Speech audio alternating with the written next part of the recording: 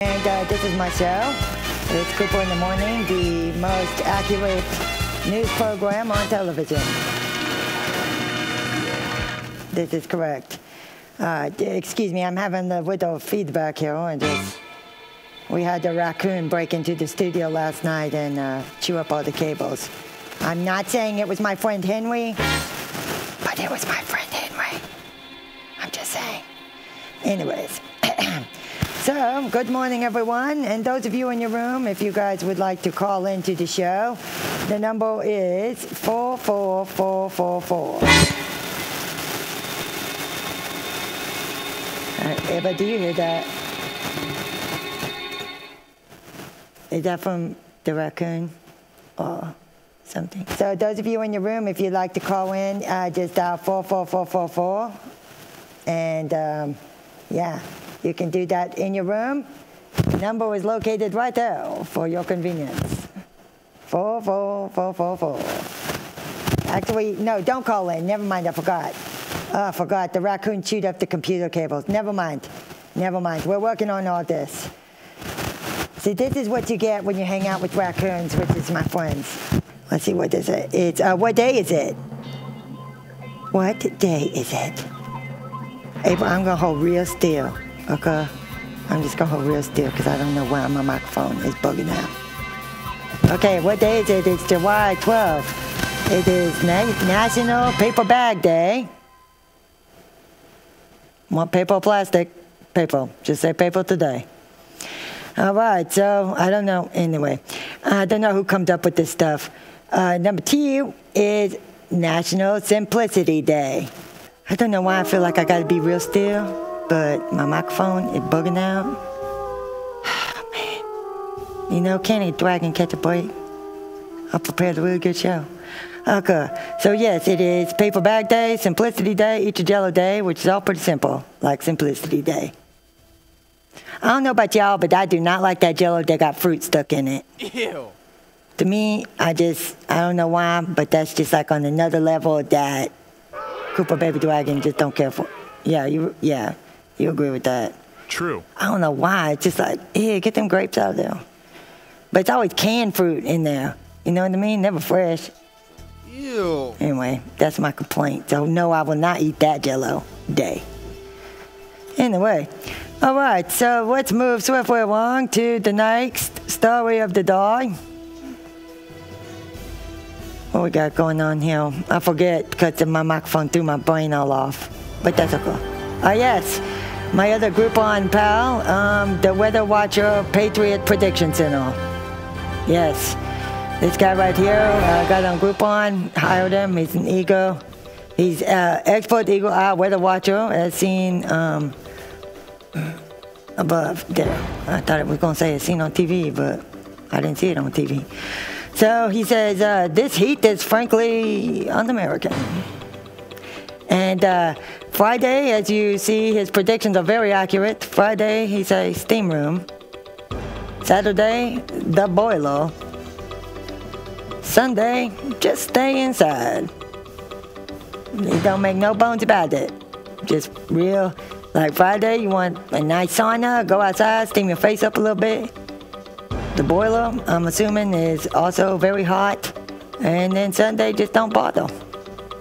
Thank you, Eagle Eye Weather Patriot. You know, I hired another guy that was my Groupon guy, the helicopter man, Dan the man with no plan. And he does traffic reports, but he's been like, oh man, y'all, I just can't. I, I know I, I got him on the discount. I realize that. And sometimes you do get what you pay for. Okay? Sometimes. But I'm going to give Dan one more shot today. Well, actually, he's my only option, so I got to just keep him on the show. He signed contract. But uh, let's see if uh, Helicopter Dan in the cool one, Chopper, is uh, there. Dan? I do hear a helicopter. You hear that? Uh, Dan. Cool Chopper. Cool Chopper 1, you are live on the air. What's that traffic report look like there, Dan, the man with a big old plan?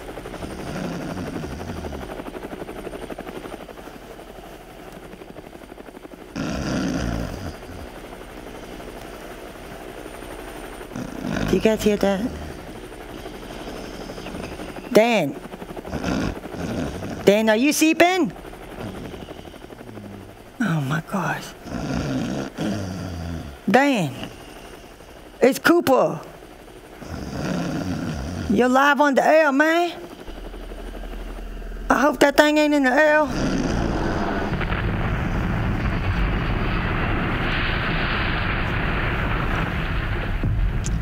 Uh oh. Uh, That was Dan the man, the helicopter guy with no plan. Oh my gosh. Uh, Wayne, was that you out there? Or... Wayne, Was, yes. did you hear that? I did. I did. Now, was that facts or was he just sleeping and then the helicopter took off by itself? Um, I don't think he was actually driving the helicopter. I think they have a pilot for that. Incorrect. Um, and then they have, he's the co pilot that looks down the traffic while the pilot drives. that is incorrect. So I hired two incompetent people. Yes, yes, you did. I guess that's like Groupon, like, wow, we gave you two people. Why are you complaining? Okay, Dan, uh, let us know if you're okay, little. I think you might have to shoot it out. All right, let's go to the next story. Um, I got a lot of stories today, Rainey, and studio audience out there. I got a lot. Can't wait. They're good. So Okay. excited. Yeah, yeah. It's, I can barely contain myself. I know, I know. Oh, should we keep going? Sorry. No, no. You go now. Hey, it's all part of the show. I like it. Okay, this is Earth News. I thought this was a cool story, you guys. I think this is really cool. Oh no. Anyway, it seems that Earth's oldest color dates back more than 1 billion years, and guess what that color is, y'all? Pink. I'm gonna explain. Don't worry. Look how tiny I am on the screen. I'm so cute. Anyway, um, is uh, bright pink the new black? Well, no, not exactly, but it is the world's oldest known color produced by a living organism. Researchers extracted pigment from bacteria fossils preserved in the rocks under the Sahara Desert in West Africa. In a nutshell, the first color of Earth was pink, 1.1 billion years older than previously recorded, and it was once believed that algae was the first color that caused the bacteria that exist in the slimy green substance, but science says we always find out what's wrong. It is bacteria called uh, cyanobacteria, and um, just so you can remember that word, think of cyan and magenta. Those are like colors when you're trying to Photoshop something. Okay, so pink, as we all know, it's the universal color of love. So Earth's master sculptor created with the color of love, which I thought was pretty cool. What y'all think about that story? Pretty cool, huh? I like that. I think that's cool. Like the the first I love color. this story. Who that? Say something. Me. Oh, that's Jillian. I know Jillian now. I got all your accents figured out.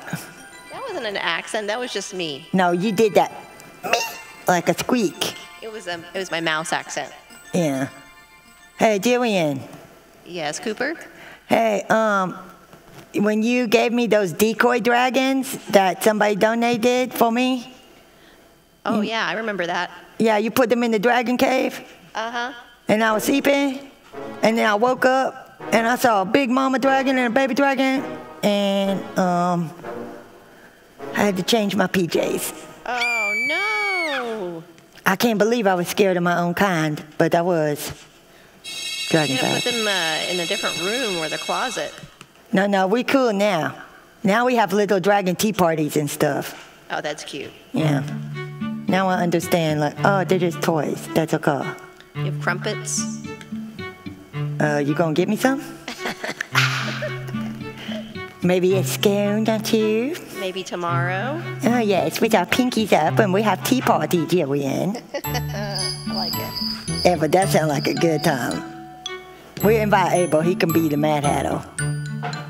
No, we gotta put a um, boa and a, a crown and a little tutu. Yeah. No. Oh, he say no.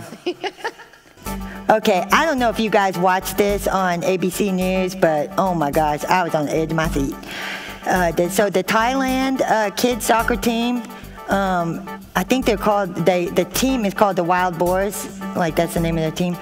And their coach, well, they were, were trapped in a cave for like 15 days in total darkness, no food, no water. I mean, they had water because of the rain coming in, stuff, and they had like some kind of protein packets or something, but they ran out quick.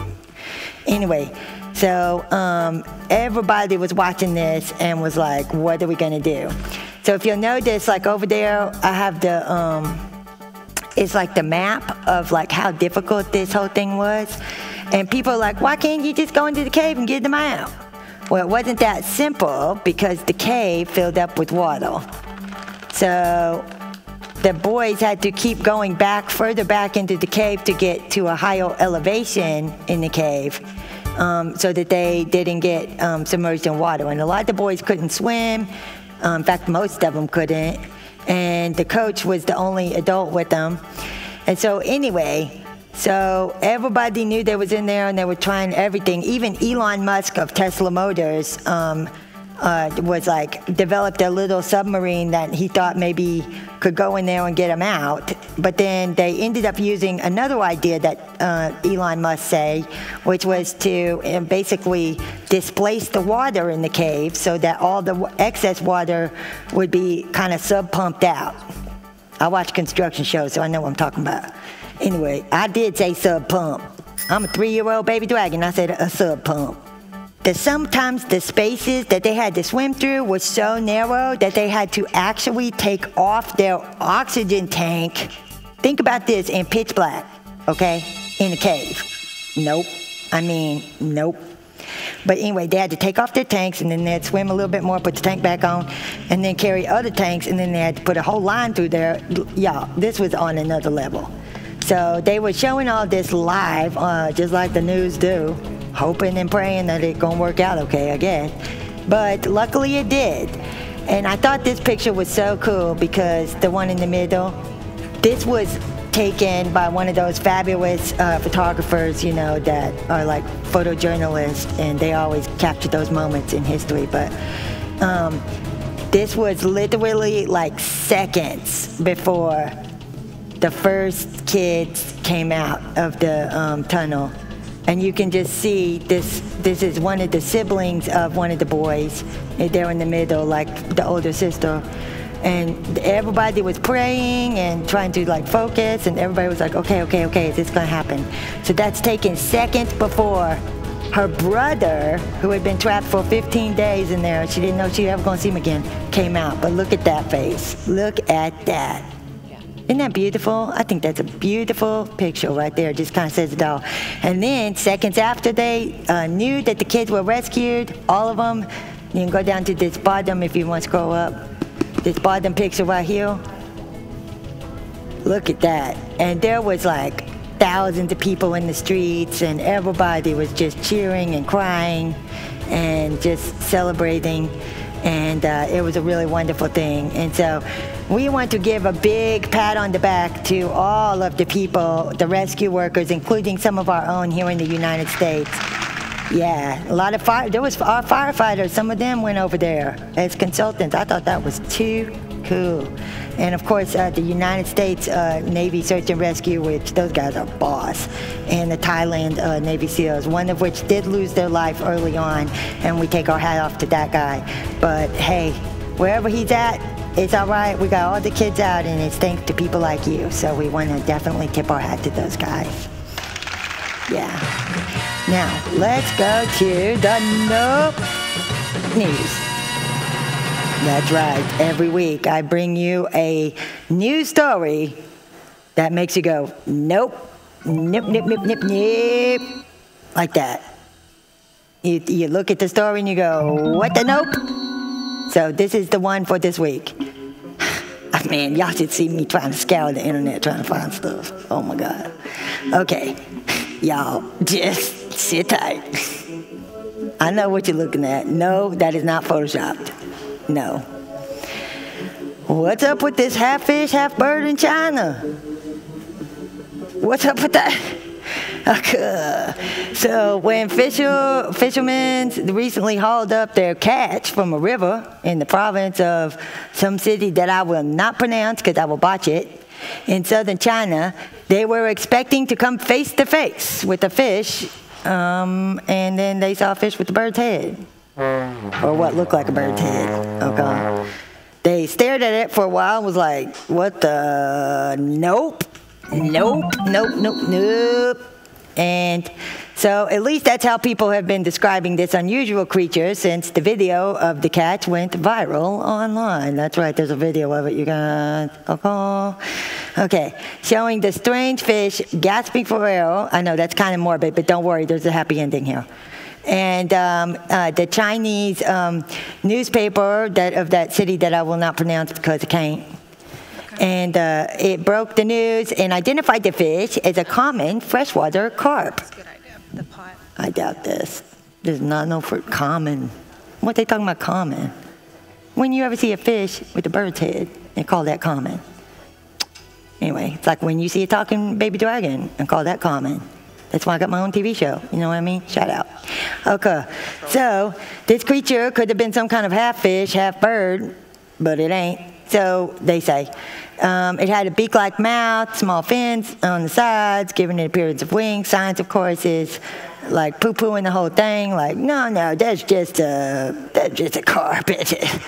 anyway, so luckily the fishermen had a heart, and um, they did toss it back into the water, which is good. So it is definitely going to have a decent life again. So that's a good thing they did return it to the water. So they didn't keep it and stare at it and make fun of it. They were like, you know what, dude, you're pretty cool. We're gonna go ahead and toss you back. And or they said, dude, you're really weird, and I don't know if I can talk about it anymore. I'm gonna toss you back. All right, this is going to be my segment called Nailed It. Y'all, oh my gosh. If you guys have, I know there's a new Netflix show, but that's not why I did this.